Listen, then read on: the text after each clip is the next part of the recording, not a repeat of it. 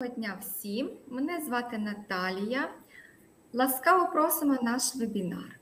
Сьогоднішня тема нашого вебінару наступна: Е, Як отримати інформацію про лікування безпліддя? Куди, коли і до кого звертатись? Роль реклами, засобів масової інформації, колег та сарафанного радіо.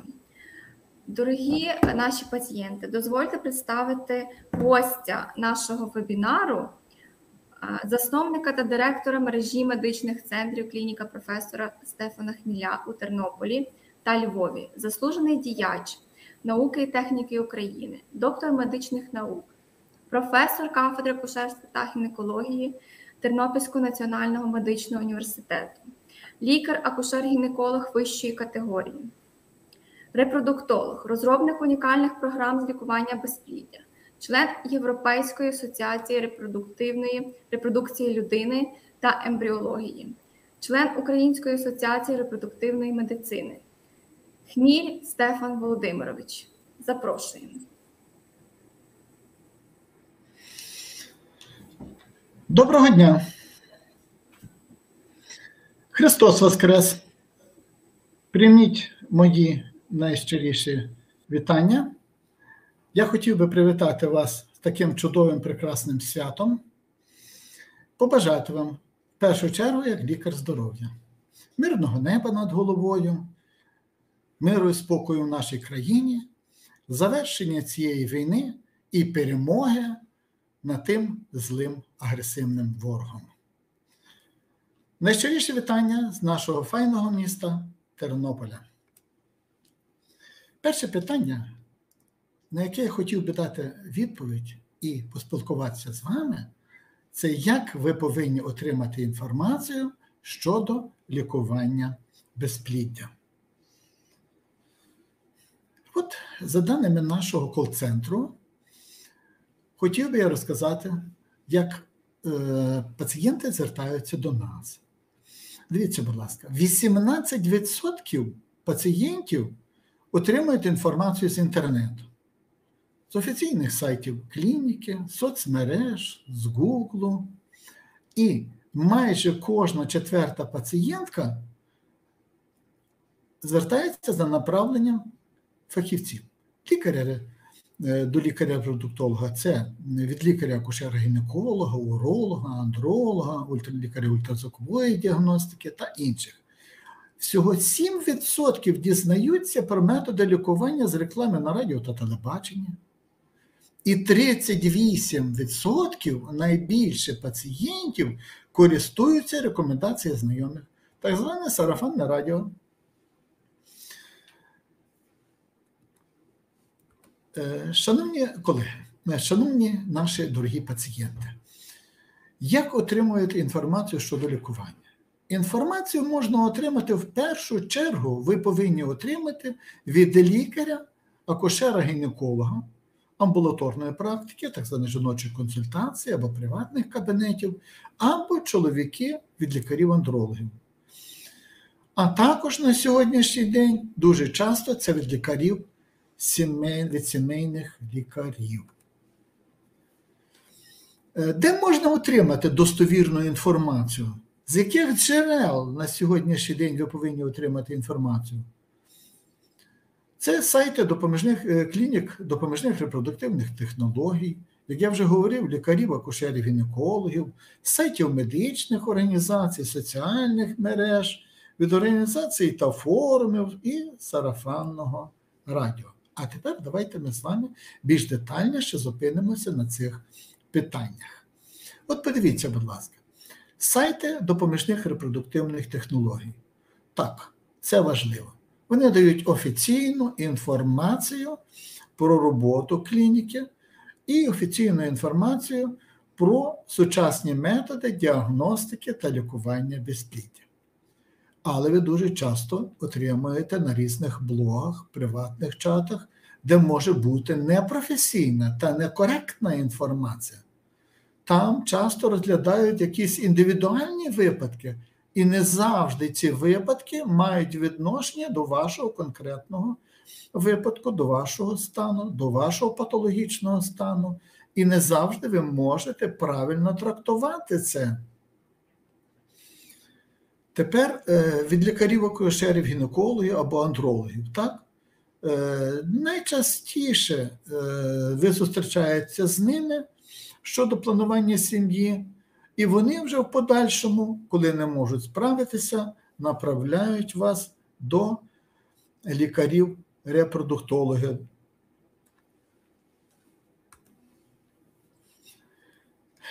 А також дуже часто пацієнти користуються сайтами медичних організацій, наукових журналів, наукових порталів, але ви повинні пам'ятати, що вони е, подають інформацію для лікарів.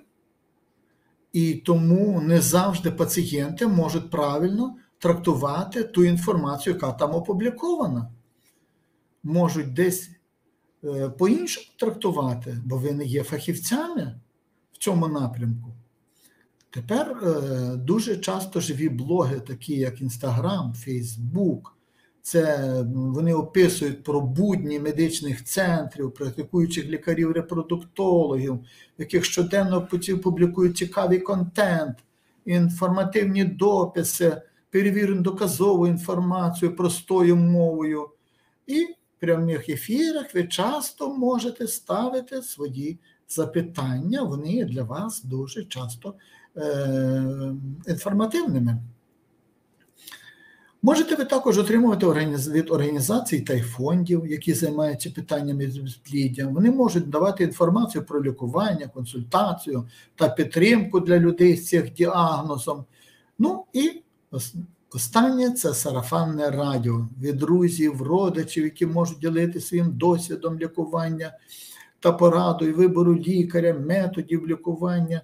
І також це не завжди є об'єктивно, часто буває суб'єктивна інформація, поступає з цих джерел, тому що кожен випадок є унікальним. Кожна пара має свої особливості, анамнезу. І то, що допомогло знайомим, може вам не допомогти. А може, наоборот, якщо використати такий метод, може вам нашкодити. І тому тут повинен розібратися тільки толковий репродуктолог і правильно допомогти цьому питанню. Тому що буває некоректна або недостатньо обґрунтована інформація може спровокувати наоборот негативні наслідки. Ви знаєте, на сьогоднішній день дуже поширено є такі лідери думок: це блогери, лікарі суміжних спеціальностей які можуть мати різні рівні кваліфікації та досвід в сфері лікування безпліддя. І не бути там гуру в цьому напрямку, розумієте, і не маючи великого досвіду в цьому, можуть давати поради, і можуть бути вони необґрунтовані, недостовірні і часто призводити до втрати часу, коштів, погіршення стану здоров'я і тому повинна бути у вас довіря до репродуктолога. Так як репродуктолог, лікар має великий досвід роботи медичний, так, а його рекомендації такого лікаря часто науково під, мають наукове підґрунтя. І він може надати індивідуальну консультацію, підібрати оптимальний метод лікування безпліддя, врахувати ваш анамнез, попередню історію захворювання, попередні методи лікування, як ви вже лікували, зробити всьому цьому аналіз і дати рекомендації на сьогоднішній день з врахуванням індивідуальних особливостей вашого організму, тому що кожен організм є індивідуальним і ніколи немає дві подібних ситуації. Кожна ситуація потребує свого підходу, свого бачення на, ви, на рахунок вирішення цієї проблеми, так як кожен пацієнт є індивідуальним. Шановні е, пацієнти, я хотів би звернути вашу увагу на ту ситуацію, яка є на сьогоднішній день. Ви подивіться, будь ласка, з 50-го року. В 50-му році жінки народжували по троє дітей, по троє четверо дітей. з кожним роком цей відсоток народжуваності зменшується. І подивіться, в 2000 році десь 1,1, 1,2. Бачите, як різко почала зменшуватись народжуваність. Дещо був підйом при Ющенку, збільшилась народжуваність так. Коли Ющенко був президентом, тоді багато давали льгот для вагітних, для жінок, які народжують. Ну і бачите, спад теж пішов, суттєвий спад на сьогоднішній день. Так? Безпліддя є дуже поширеним в світі, в кожній країні, не тільки в нашій країні, а в країнах Західної Європи, Сполучених Штатах Америки набагато народжується менше дітей. За оцінками ВОЗ, станом на 23 рік, від безпліддя складає від 15 до 30% дорослого населення. Це свідчить про глибоку масштабну поширеність безпліддя в цілому світі. Ви бачите, дуже часто пацієнти говорять, що е, чоловіки особливо, що проблема в основному це жіноча. Ні. Ви бачите, за даним Американського товариства репродуктивної медицини СРМ, в Америці половина відсотків це жіноче безпліддя, половина чоловіче. Серед них є випадки поєднаного, коли чоловіче безпліддя однієї подружньої пари або нез'ясованого генезу. В Україні на сьогоднішній день йде шалене скорочення населення. Дивіться, будь ласка, станом на 1 січня 2022 року проживало 34 мільйони громадян. А на кінець серпня 27 йшлось пояснювальній записці до проєкту державного бюджету на 23 рік. Вже було 27 мільйонів і 8. Тобто чисельне населення за півроку війни зменшилось на 6,7 мільйона. Але подивіться, наступні показники. З початком повномасштабного вторгнення з України виїхало понад 14,5 мільйонів українців. Да, частина повернулася. Тоді, якщо скільки виїхало, то скільки нас залишилося, 34 було на 1 січня 22-го, мінус 14,5, так, біля 20 мільйонів населення. Ситуація вкрай вкрай критична. В Україні реєструється суттєві спад народжуваності. За даними електронної системи здоров'я, завагітніли понад 69 тисяч жінок. Тоді як торік було 146 тисяч, удвічі більше за такий період. Це за даними управління Верховного комісара ООН у справах біженців. Ситуація непроста, катастрофічна. І тому питання діагностики і лікування безпліддя на сьогоднішній день повинно приділятися велика увага. Допомагати тим жінкам, які планують вагітність. І я закликаю вас, не глядячи ні на що, дорогі жінки, плануйте вагітність. Треба відроджувати націю, відроджувати Україну. Тепер розглянемо з вами, куди ви повинні звертатися, якщо запідозрили в себе безпліддя. Ну, Це спеціалізовані заклади так, для діагностики лікування всіх форм безпліддя центри допоміжних репродуктивних технологій, а саме до лікаря-репродуктолога. Е, дуже часто була поширена така думка, що центри допоміжних репродуктивних технологій тільки займаються екстреним корпоральним заплідненням, так званим штучним народі. Ні, шановні пацієнти, дорогі наші. Центри займаються діагностикою і лікуванням усіх форм безпліддя від простих до найбільш складних. І тому нехай вас не формується така думка. Там це висококласні, високопрофільні медичні установи, які мають відповідного класу апаратуру, обладнані, е, обладнані самими сучасними апаратами і знаннями, мають високі знання, фахівці, які там працюють. Е, вони можуть займатися лікуванням діагностикою всіх форм безпліддя.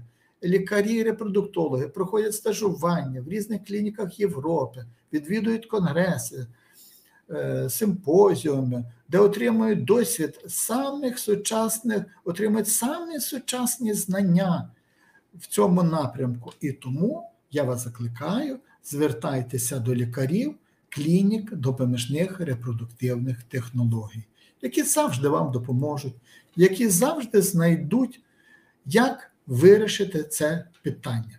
Но якщо у вас немає такої можливості, центру планування сім'ї в місті, е, клініки допоміжних репродуктивних технологій, то ви повинні звернутися до лікаря первинної ланки, дільничного акушер-гінеколога в жіночу консультацію або в приватний кабінет. Він вам скаже чітко про розроблений алгоритм дії, може вже тоді е, направити вас в клініки допоміжних репродуктивних технологій. От е, подивіться, будь ласка, який алгоритм дії лікаря, акушера гінеколога лікування безпліддя. Е, якщо чоловічий фактор, такого пацієнта, таких пацієнтів треба направляти в клініки ДРТ. Трубний фактор так само. Жінки до 35 років стимуляція ановаляторне безпліддя, стимуляція кломефенцитратом не більше трьох циклів, так, або гонадотропінами, поригони, елону або іншими. Немає ефекту, направляють в клініки ДРТ. Жінки, які старше 35 років з ановаляторним безпліддям, гонадотропіни призначають не більше двох циклів. Далі направляти потрібно в клініки ДРТ. Ви знаєте, в Західній Європі є лікарі, які працюють, всі вони застраховані в страхових компаніях.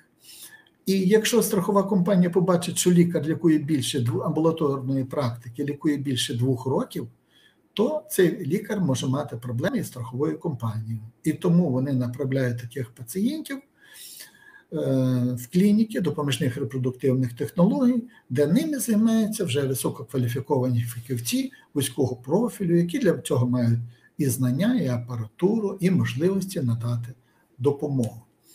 А тепер, шановні колеги, ми розгля... Е, шановні дорогі пацієнти, ми розглянемо з вами, коли звертатися на консультацію до, ем, до лікарів. Якщо вагітність не настає віком до 35 років, е, до 35 років пацієнток і не настає протягом 12 місяців регулярного статевого життя без застосування контрацептивів, це вже безпліддя. Старше 35 років, якщо більше 6 місяців, це вже безпліддя. І ще до закінчення вище згаданих термінів за наявності чинників, які знижують фертильність. А тепер подивіться, що може знижувати фертильність. І Тут зменшуються шанси настання вагітності. Це трубні вагітності в анамнезі, запальні процеси, перенесення оперативні втручання, операції на органах черев малого тазу, аменорея, рання менопауза. Таким пацієнтам потрібно негайно звертатися в клініки ДРТ. Чоловіків, бачите, аномальні показники спермограми, старше 40 років і інші. Ви знаєте, я хотів би звернути увагу, як невпинно зростає безпліддя. Сперматогенез чоловіків погіршується з кожним роком на півтора відсотка. Суспільство не задумується, що буде через 10, 20, 30 років, коли такими темпами погіршується сперматогенез. На що впливає на це? В першу чергу, це фактори зовнішнього середовища екологія, спосіб життя. Ведь подивіться часто, як молоді люди, які ведуть спосіб життя. Прийом різних тоніків, куріння, наркотики, е, там е, айкосеті, все і інше. Та навіть мобільний телефон доказали на сьогоднішній вкрай шкідливо впливає на сперматогенез. Ну, і бачите, шановні, шановні наші пацієнти, не завжди є можливість в жінки або в чоловіка планувати вагітність тоді, коли вона хоче. Різні життєві бувають ситуації. І тут приходить на допомогу відкладене батьківство. Є можливість збереження репродуктивного потенціалу чоловіків та жінок в майбутньому. Можуть прийти стимуляцію забираємо яйцеклітини в жінки, проводимо вітрифікацію, і жінка має яйцеклітини, і коли вона планує вже собі вагітняти, тоді запліднюємо. А так само чоловіки проходять кріп-консервацію сперматозоїдів. І тоді ми проведемо запліднення і можуть стати за допомогою екстракорпорального запліднення і стати щасливими батьками. Тому, якщо є проблема, не чекайте, а дійте. Тому що, подивіться, будь ласка, на цю прозірку, вам стане все зрозуміло. В 35 років шанси жінки на зачаття стрімко зменшуються, різко знижується овуляторний резерв і збільшується кількість хромосомних патологій. От подивіться, будь ласка, такі цифри. В 40 років 80% яйцеклітин патологічно змінені в жінки, мають хромосомні патології. Лише 20% здорових. В 42 роки тільки 10% здорових яйцеклітин. В 43 роки біля 3%. В 44 0,1%. Зрозуміло, що скажуть, і в 45 років там бабця, бабця, мама, знайома, подружка, колежанка завагітніла. Ну це рідчайші випадки. Це дуже рідко. І ви подиваєте на ті прозірці на слайді, як різко збільшуються хромосомні патології і як різко зменшується овуляторний резерв. Ви бачите, відбувається вікове старіння яєчників. І пік втрати ooцитів припадає основно на 37-38 років. Що ще, крім віку, впливає на стан оваріального резерву? Це генетичні фактори, операції, автоімунні захворювання, коріння, так, алкоголь, екологічне неблагополуччя можуть різко погіршувати оваріальний резерв. І тому не втрачайте дорогоцінного часу. Бо я пригадую, як до мене приходили пацієнти, які 25-26 років лікували безпліддя в лікувально-профілактичних закладах амбулаторних. А так, 10, 15, 20 років дуже часто ми бачимо на сьогоднішній день. Які є організаційні проблеми, які пов'язані з лікуванням безпліддя? Які? Це, вперше, недостатня проінформованість про сучасні можливості лікувально-діагностичного процесу відсутність єдиного алгоритму діагностики та лікування е, в амбулаторних лікувально-профілактичних закладах, відсутність ефективної взаємодії центрів ДРТ і лікувально-профілактичних закладів при лікуванні безплідних пар. Типові помилки в діагностиці лікування це затягування термінів обстеження лікування, про що ми говорили, ігнорування віку пацієнтів при вибору тактики, призначення неефективних методів лікування і несвоєчасне направлення пар в клініки ДРТ. В Україні кожна п'ята подружна пара не може завагітняти самостійно. Із 100 подружніх пар, в яких є безпліддя, 50 звертаються до гінеколога чи андролога. Із них лише 16 пар направляють до репродуктолога, і тільки 4 пари починають лікування безпліддя. І от хотів би я е, теж про перший візит, першу консультацію в репродуктолога. У вас є можливість приїхати до клініки, завітати на виїзну консультацію чи проконсультуватися онлайн. Перед прийомом репродуктолога ви повинні зібрати всі аналізи, призначення і підготувати список запитань. Питання і відповіді на них дадуть вам можливість зрозуміти, чи підходить вам клініка, чи підходить вам лікар, чи філософія лікувального закладу підходить вам, а також процедури, які рекомендує лікар. Ви все це повинні зрозуміти і далі прийняти рішення, чи ви готові довіритись лікарю і команді медичного центру. Як обрати клініку? Ви повинні подивитися, чи та клініка відповідає всім стандартам. Ви вибираєте собі лікаря і формуєте свій власний досвід. Не тільки то, що ви прочитаєте позитивну, негативну інформацію про лікаря, вона часто може бути замовною, вона часто може бути необ'єктивною.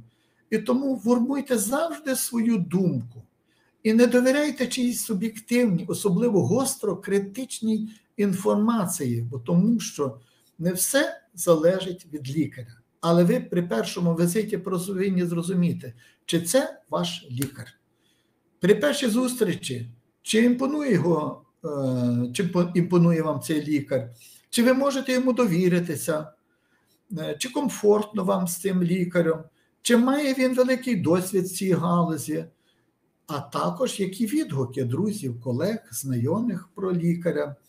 І тому кожна жінка повинна пройти і відчути себе комфортно в лікувальному ж закладі і налаштувати себе на позитивний результат. Ви знаєте, е, нас часто лікарям, вибачте, будь ласка, але скажу відкрито, часто піддають сумніву наші пацієнти. Критичному аналізу дуже, призначень лікаря, діагностично-лікувального процесу, Е, а це знижує прихильність до лікування, готовність чітко виконувати призначення лікаря. Я бував в багатьох клініках Західної Європи, е, на стажування багато на протязі багатьох років. Свій час був віце-президентом Європейської асоціації, і я бачив, як довіряють пацієнти лікарям. Сказав лікар так, наче так потрібно робити а в нас завжди часто підвергаються сумніву. І часто можуть трактувати фахівці, які є не фахівцями в цьому напрямку, і можуть е, давати неправильне трактування, необґрунтовано. Е, так?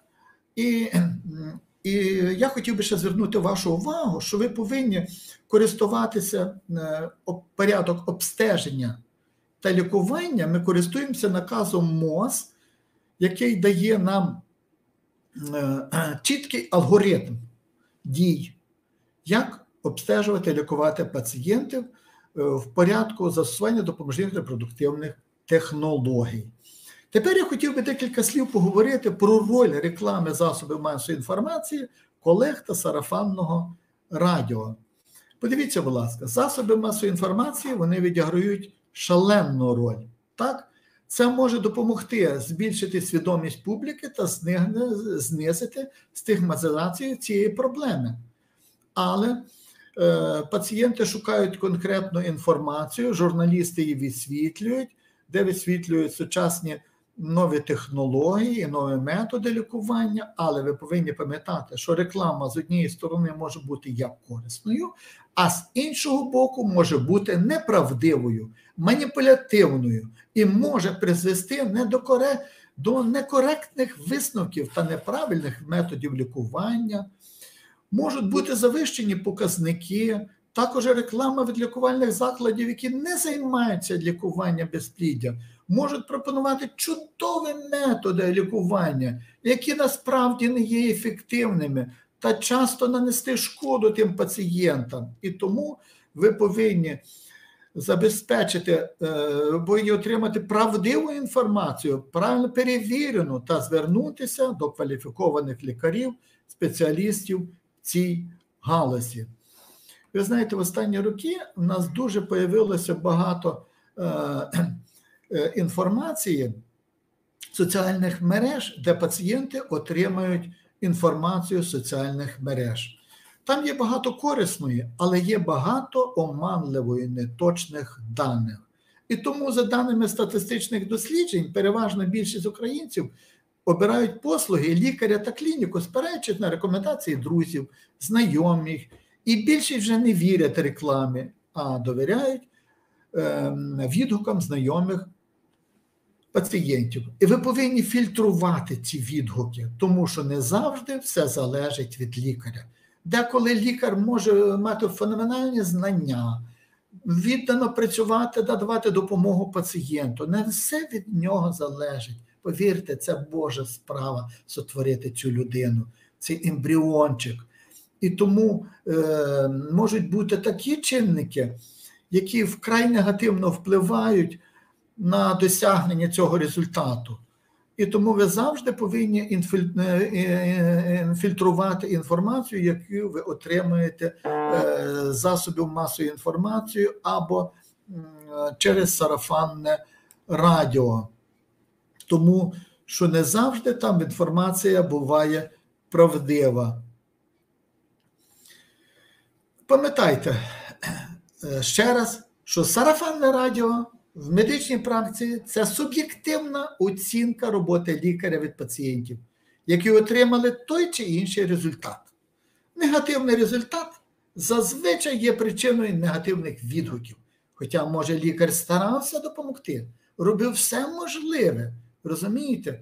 Але не є реальним це відображення професіонального рівня лікаря. Можуть бути такі фактори, які повпливають. От ти переніс чудовий ембріон, переносиш порожнину матки, поклав ти ідеально там, де потрібно, а рецептивність ендометрію знижена. В цій зоні пошкоджена, пошкоджений ендометрій, рецептори не відкрились, імплантація не відбулась. Я говорю пацієнтам, деколи от посієш на поле зерно, тут грудка, тут каменець, тут розпушений ґрунт, де взайде це зерно. Розумієте? Тобто факторів можуть бути дуже багато. І навпаки, коли позитивні результати лікування, це найкращі особисті якості для портфоліо лікаря. Але е, ви повинні пам'ятати, що кожна жінка, яка планує і хоче стати щасливою мамою, вона завжди дойде до цього. Якщо вона вибрала свого лікаря, якщо вона цьому лікарю довіряє і їй комфортно працювати з цим лікарем, вона завжди досягне успіху. Я розумію, що деколи лікар не має е, стільки часу приділити, буває пацієнтам, так, він загрушений роботою. Деколи приходиться лікаря чекати, тому що зрозумійте, різні бувають випадки. Лікар працює в операційні, розраховує, що він буде там 15 хвилин, а там, виходить, 30 хвилин. Інше він складна ситуація, він не може вирішити, або інший час. Розумієте, де ще пацієнти чекають лікаря.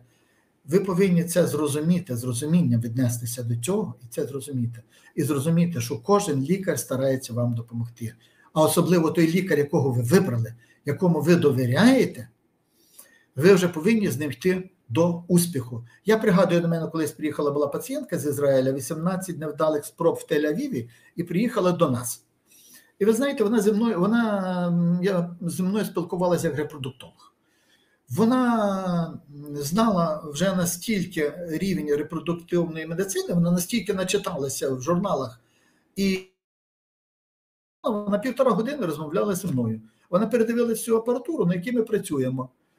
А потім мені говорить: так, да, професор, я буду йти з вами до кінця. Ну і ми прийшли до кінця. Дівчинку назвала Стефані. Бачите результат. І тому я хотів би ще декілька слів зупинитися про планування сім'ї під час воєнного стану. В країні йде війна, але ми повинні відроджувати українську націю. І клініки ДРТ роблять кроки на зустріч пацієнтам. Так само ми. З початку війни ми розпочали соціальний проєкт воду. 100% знижка на протоколи лікування безпліддя ЕКЗ. 100% е, також 100% е, знижка на заморозку сперматозоїдів, на відкладене материнство, заморозку яйцеклітин для військових.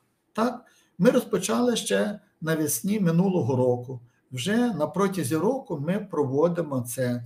Вже більше 400 подружніх пар звернулися до нас, з якими ми працюємо, проводимо безкоштовне екстракорпоральне запліднення. І хто нас чує, військові, будь ласка, звертайтеся.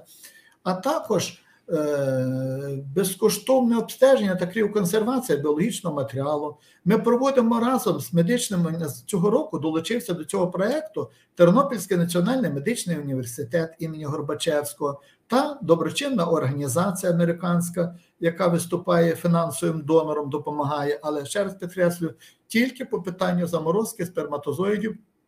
Для військовослужбовців всі інші проекти ми проводимо самі. Так? Е, а також ми зробили 25% знижку для програм екстракорпорального запліднення для внутрішньо переміщених осіб проводимо. І, шановні колеги, я ще раз хотів би вам сказати, що той, хто планує стати щасливою вагітною жінкою та подружня пара, яка вирішила, е, вирішила стати щасливими батьками, кожна має шанс на це. Кожні мають можливість завагітніти. Немає такого випадку. Так, в одному випадку достатньо місяця, так? в деяких випадках і 6 мало, а в деяких і більше. Розумієте? Залежно від ситуації. Ще раз повторюю: сотворити людину не так просто. Бувають такі патологічні стани, що важко допомогти. Але я пам'ятаю на своєму шляху ті подружні пари, які ставили перед собою мету стати щасливими батьками, ми завжди знаходили шлях для реалізації. І завжди знаходили шлях, як їм допомогти. І хто не сходив з дистанції, завжди йшли щасливими, щасливими з діточками на руках. І приїжджали до нас щасливі. І я хотів би всім подякувати. І не відкладайте мрію про батьківство. Якщо плануєте, звертайтеся в клініки допоміжних репродуктивних технологій, так як на сьогоднішній день всі клініки в Україні працюють на високому рівні, де працюють висококваліфіковані лікарі і надають допомогу. І якщо у вас будуть до мене запитання, будь ласка, звертайтеся, можете в прямому ефірі звертатися до мене, або Якщо бажаєте, можете онлайн-консультації бути. Так, якщо бажаєте, можем, можете приїжджати на прийом. Я завжди буду радий всім допомогти. Але ще раз підкреслюю, всі клініки в Україні працюють на високому рівні. Дякую за увагу. Будь ласка, чекаю на запитання.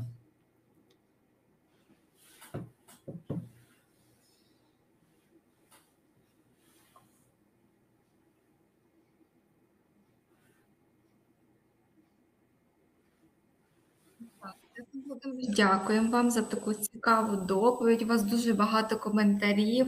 Усім е, дякую за цікаву та інформативну доповідь. Е, дуже цікава доповідь. Дякуємо. Унікальні пропозиції. Дякуємо вам. Ось і в нас є уже перше запитання від пацієнтів.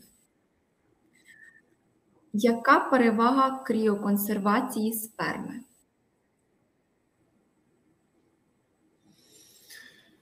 Е, шановні пацієнти, дорогі наші пацієнти, є декілька моментів. Перше, от е, кріоконсервація сперми.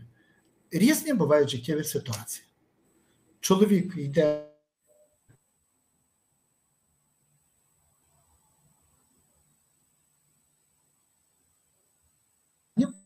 Де може бути вплив медикаментозних середників на патогенез, краще заморозити сперму.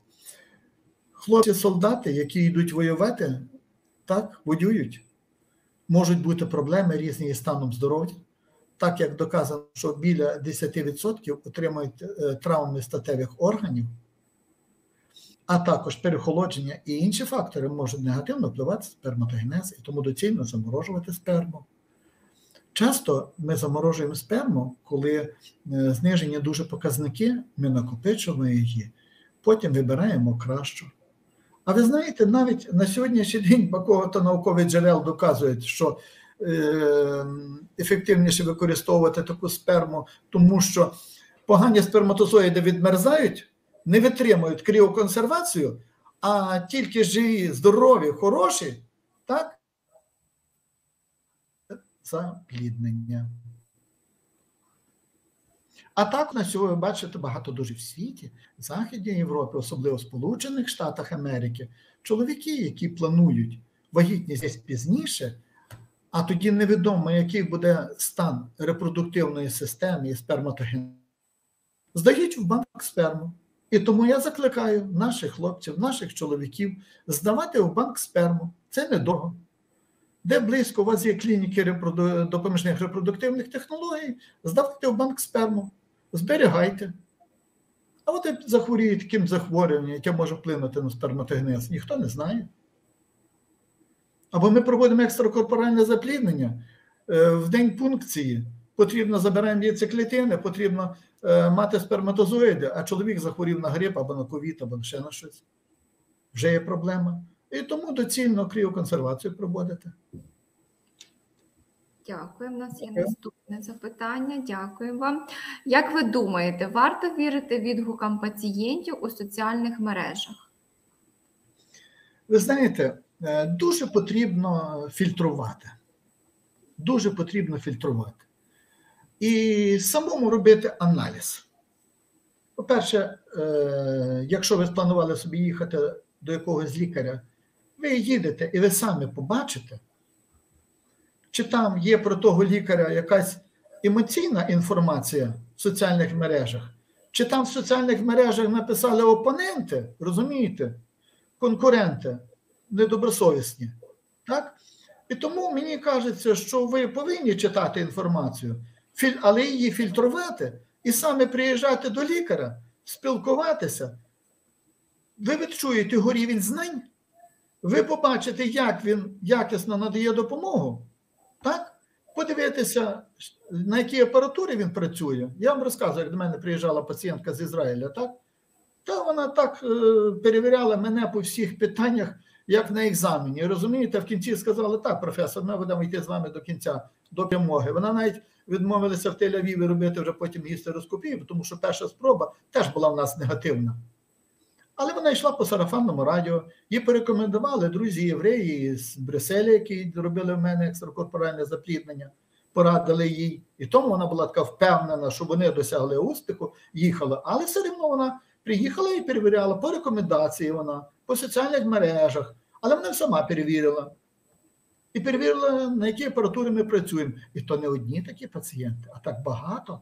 І тому я вважаю, що ви повинні самі поспілкуватися з лікарем і відчути, чи це ваш лікар, чи ви цьому лікарю довіряєте, чи цій клініці ви довіряєте, і тоді вже приймати рішення.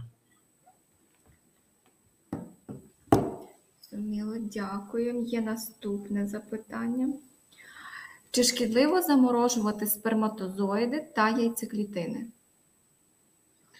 Ні, шановні колеги, е, шановні наші дорогі пацієнти, на сьогоднішній день рівень технологічного процесу, рівень технології настільки високий, що яйцеклітини можна заморожувати, вони гарно розморожуються, і так само сперматозоїди. Ні. І можуть зберігатись багато років, десятки років можуть зберігатися. Для них це нульовий день. Організм жінки, чоловіка старіє, так? А вони залишаються такими молодими в тому віці, які, які забирали, коли проводили забір біологічного матеріалу. Дякую. Є наступне запитання. Які покази до заморожування? Знаєте, є свої показання до замороження в чоловіків, я вже розказував, і в жінок також. Е, В жінок, наприклад, якщо жінка не планує, от жінка може е, провела екстракорпоральне запліднення і має багато яйцеклітин. І багато жінок на сьогоднішній день не хочуть зберігати е- ембріони. Вони планують собі створити там скільки-то ембріонів, наприклад, умовно 2, 4 чи 6. Так, якщо при необхідності провести ПГД-діагностику тих ембріонів, генетичне обстеження, а інші клітинки заморозити і зберігати у вигляді яйцеклітин. Або буває ситуація, приїжджає дружина, проводимо екстракорпоральне запліднення, чоловік не може приїхати. Або чоловік знаходиться в іншій країні, ми заморожуємо яйцеклітини, тоді він приїжджає, здає спермограму, розморожуємо яйцеклітини, запліднюємо. Тобто дуже буває різних ситуацій, або жінка не планує ще вагітніти, планує вагітніти пізніше, відтерміноване материнство. Тоді вона приходить в клініку, проводимо стимуляцію, проводимо забір яйцеклітин і забираємо яйцеклітини і проводимо заморозку цих яйцеклітин і зберігаємо. А жінка вирішує собі вагітніти чи в 35, чи в 40 років, чи ще пізніше. Як складеться її життя? Вона вийшла замуж, наприклад, е, в 42 роки. А ми вже говорили, наскільки знижений овуляторний резерв тоді буде. Беремо сперматозоїди чоловіка, яйцеклітини, які вона заморозила в 30 років, або в 25 років, умовно так називаємо, і запліднюємо. І вона щаслива, вагітніє і народжує. Дякую вам за відповідь. Є наступне запитання. Е, Скажіть, будь ласка, де більше е, можна дізнатись щодо безкоштовної програми екстракорпорального запліднення? Куди звертатись? Е, Звертатися наші дві клініки це проводять: клініка у Львові та у Тернополі. Можете звертатись на прийом в клініку. Приїжджаєте на прийом і вам все розкажуть. Лікар-репродуктолог, записатися на прийом до лікаря-репродуктолога, до мене чи до інших лікарів. І лікар розкаже всю всю повну інформацію про безкоштовне екстракорпоральне запліднення. Вже більше 400 таких подружніх пар. Дякую. Є наступне запитання. Найбільш поширений чинник безпліддя. Е, Як я вже говорив, що без 50% безпліддя це чоловіче, і 50% це безпліддя жіночий фактор. Серед жіночих факторів біля 30-35% складає порушення овуляції, так, відсутність овуляції, овуляторне безпліддя, так зване. Найчастіше це при синдромі полікістозних яєчників та при інших ендокринних порушеннях, і порушення прохідності маткових труб. Так? Е, Внаслідок виникнення запальних процесів, а також е, пухлини матки, такі як фіброміома матки, гіперпластичні процеси, е, так, порушення е, ендометрію іншого характеру, обцвідні зміни, перегородки, аномалії розвитку і так інші, і зміни в яєчника, кісти, кістоми, ендометріоїдні кісти та інші пухлинні утвори в яєчниках. Оце саме основні. А інші вже більш дорогорядні і часто бувають невизнані етіології. Дякуємо. Є наступне запитання. Скажіть, будь ласка, якщо чоловік працює і перебуває зараз за кордоном, чи можна якось нам допомогти? Ми планували йти на екстракорпоральне запліднення, але війна зробила свої корективи, і чоловік зараз не може приїхати в Україну.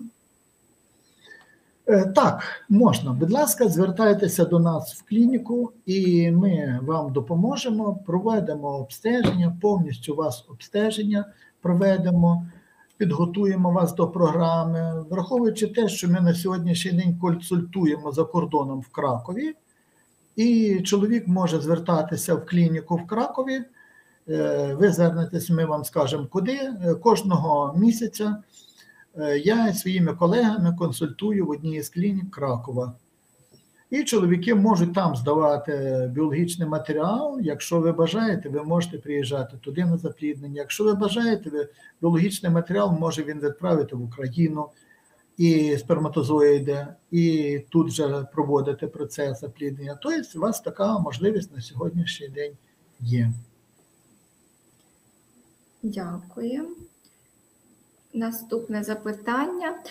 Який, на вашу думку, метод реклами найбільш ефективний для залучення пацієнтів за кордону в Україну? Ви знаєте, от е, дуже цікаве питання. Найбільше спрацьовувало от по нашому досвіду, до нас дуже багато пацієнтів їхали за кордон з різних куточків світу, приїжджали до нас. Е, ну, от є декілька таких от конкретних випадків пацієнтів. Так? В основному це сарафанне радіо. Оці пацієнти, як я вже сказав, Ізраїля, з Брюсселя їм порадили, так? Е, їхні друзі, колеги. Пригадую, з Неаполя пацієнтка приїхала, яка 12 разів робила екстракорпоральне запліднення в Італії, в Швейцарії з негативними результатами. Унікальний випадок був теж. І я кажу: а як ви знали інформацію про нас? А вона каже, а пацієнтка сказала, яка прийшла, вона фармацевтом працює в аптеці, каже, прийшла в аптеку і говорить: а я вже вагітна, а Віталія мала 9 негативних спроб. А каже, а я знала цю пацієнтку дуже добре, а вона проводила у вас екстракорпоральне запліднення. І в Італії 9 невдалих. І вона у вас завагітніла з першого разу. Я зразу ж зібралася і поїхала до вас. Ну так, двоє дітей в неї двійня. І теж не з першого разу вона завагітняла, але має двоє дітей. І цілий ряд інших випадків. Є такі випадки, де лікарі за кордону направляють до нас. Знаєте, був унікальний такий випадок цікавий, десь е, ще пригадую, в 17-му році так приїжджають пацієнти, він медичний представник, теж з Італії, він медичний представник, знає всю професуру, він казав в Італії лікарів, багато років лікувалися в Італії. І каже, прийшли на прийом до лікаря, чергова невдача. Він говорить, що робити? Ну каже, давай е, їдь в Україну. А він каже: я каже, пожартував. Каже, куди? В Донецьк воювати, так? Е, Ще тоді цей. Він каже, та ні, каже, от дійсно їдь в Україну. Для нас це був шок, бо каже, в Україні йде війна, а нас направляють. Так. Е, Ми каже, поїхали. Вони приїхали до нас. Ще тоді летіли Неаполь, Рим, Рим, Стамбул, Стамбул, Львів, яку дорогу, так? Ну, але стали щасливими батьками, і потім писали на, на писочку пис- малював сердечко і Тернопіль. Я люблю Тернопіль після позитивного результату. Теж е, дуже цікавий випадок, бо ви знаєте, яка виникає любов і довіра до нашої країни, і яка повага. До нас приїхала дуже цікава подружня пара. Е, 50 років, вона лікар-пластичний хірург, батько акушер-гінеколог, лікар-абдомінальний хірург, чоловік абдомінальний хірург, а батько 86 років працює ще акушер-гінеколог. І він говорить: батько, стільки ми багато разів робили спроб в Італії, нічого не вийшло. От каже, ми приїхали до вас, бо її колежанка завагітніла, лікар теж завагітніла у вас. Приїхали у Львів, подивилися нашу львівську клініку. Він був вражений, що в Україні такого рівня є клініки. Він ой, бравіссимо, браві, бравіссимо. Там він, він кругом ходив, все оглядав, всю апаратуру, навіть зі мною був на переносі ембріонів. А який шок в нього був, коли вона завагітніла, розумієте? А, е, а то він каже: все каже, маю сади, вілли на Сардіні, а внуків немає. Ну, в основному це сарафанне радіо спрацьовує. Часто пацієнти, от подружня пара з Милана прилетіла, то їм порадив е, вже теж е, лікар, навіть з Іспанії, в якого вони робили е, багато спроб. Він порадив вона сама так. І ну, в основному це, е, це або лікарі, або сарафанне радіо. Вже коли таких пацієнтів багато, вони вже радять один одному. От там були. І так отримують інформацію. І приїжджають.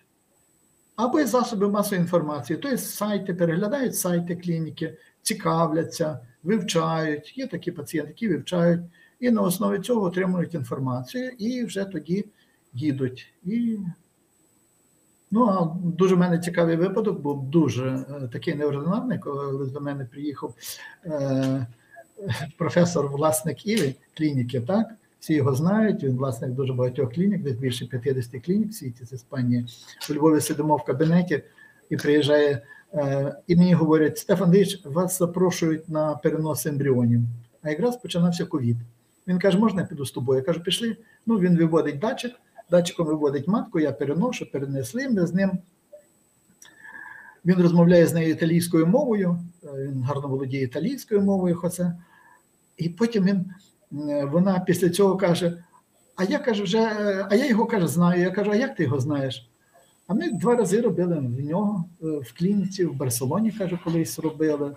Тобто це пацієнти, які вже об'їздять і весь світ і попадають. Ну, з різних джерел вони отримують інформацію про лікаря, про клініку. І... Але я ще раз говорю, вони самі формують свою думку, коли приїжджають, чи будуть працювати з цим лікарем чи ні. І вже рекомендують іншим пацієнтам. От я зараз е, консультував в Кракові, то пацієнти до нас не мають можливості приїжджати. То були пацієнти із Парижа, із Брюсселя, з Лондона, також з Риму, з Італії, з Варшави, з різних куточків. Я консультував там пацієнтів, приїжджали, там аеропорт, їм дуже було зручно. Але в основному це ще раз говорю, сарафанне радіо. Ну і інтернет, бо вони по інтернету взнавали, що я консультую в Кракові. Зрозуміло. Дякую вам за таку вичерпну відповідь, Стефан Володимирович. У нас ще є запитання. Наступне запитання це яка апаратура для е, допоміжних репродуктивних технологій якісна на ваш погляд? Ви знаєте, е, майже всі клініки допоміжних репродуктивних технологій працюють на сучасній апаратурі. Але вона вся повинна, знаєте, як скрипка є, гарні скрипки. І якщо скрипка гарно налаштована і гарний скрипач, то буде гарна мелодія і буде хороший результат. Розумієте? А де користуються ще якоюсь старою апаратурою, е, яка вже не збалансована, десь погані видає результати, показники. А тут важливо все. У цьому все важливо. Хороша скрипка, гарно грає, гарний музикант, хороша мелодія. Дякую. Е, Дякую, було дуже цікаво вам е, вас слухати. Чи будуть ще ефіри з вами? З задоволенням. Я з задоволенням. Хотів би ще спілкуватися. Я думаю, що так. Це останнє було запитання. Е, Стефан Володимирович, ми вам щиро дякуємо. Запитань наразі немає. От. Тому Дякую. Мені було приємно спілкуватися, приємно було ділитися своїм досвідом, своїми знаннями. І я щиро вам дякую, ведучий. Так, ви чудово вели, чудово ми з вами спілкувалися. Щиро дякую нашим дорогим пацієнтам. Якщо буде потрібна наша допомога, будь ласка, звертайтеся, ми завжди раді будемо вам допомогти. Поширюйте інформацію про соціальний проєкт, тому що нам потрібно відновлювати, відроджувати націю, нам потрібно допомагати нашим людям. Ви знаєте, не завжди все залежить від нас. Не завжди ми можемо з першого разу вам допомогти. І тому нас критично репродуктологів не оцінюйте, якщо щось не вдалося, якась спроба. Ви завжди вірте в це і пам'ятайте, що всі лікарі, репродуктологи в Україні працюють на високому рівні. Я хотів би передати колегам Чернівецької клініки, Чернівецького медичного університету найкращі побажання. Клінікою керує Олександр Михайлович Юсько, професор, знана людина, президент Української асоціації репродуктивної медицини, чудовий лікар, чудовий репродуктолог, чудовий науковець. Я його чесно дуже поважаю як спеціаліста, як людину. І тому йому найкраще вітання його колективу Тамарі Анатолівна, яка є прекрасним репродуктологом. Я в захопленні від їхньої дочки Вікторії. Дійсно, вона стала прекрасним лікарем, чудовим репродуктологом. Молодець, умнічки, вам е, до перемоги. Крокуємо разом, разом лікуємо, разом надаємо допомогу нашим пацієнтам і робимо їх щасливими. Відроджуємо нашу націю. Я думаю, що у нас дуже багато буде роботи. Дуже ми повинні гарно попрацювати, щоб допомогти нашій нації відродити її. Слава Україні! героям слава! Щиро дякую вам, Стефан Володимирович, за таку цінну інформацію і високу оцінку нашої роботи. Дякую вам. Надіємо, ще в наступних було- ефірах зустрінемось. Дякую. І мені було дуже приємно з вами працювати. Навзаєм. Дякую. Успіхів вам!